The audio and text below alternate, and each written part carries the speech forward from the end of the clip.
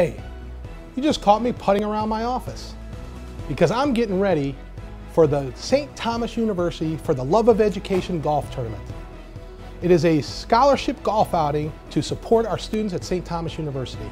And this year, all new, we're going to have it at the club at Weston Hills, which happens to be my home course. And it's on Monday, April 26th.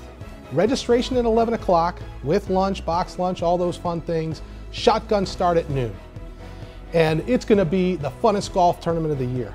We're gonna have all kinds of activities around the course with our students. We're gonna have fun contests on holes. We are gonna just have a ball there, lots of libations and food and fun, and then a big time appetizer event afterwards where we announce the winners and the prizes. So if you wanna come and have a great time at a golf outing, this is your golf outing for the love of education, St. Thomas University. And I'm gonna be playing on some par threes to help you out. It's a shotgun and it's a scramble, but I'm still available. Our top sponsorship level of $20,000 is still available, and if someone supports us at the $20,000 level, I get to play in your scramble, and I know the course. So come out, it's gonna be a ball. God bless you. Go Bobcats.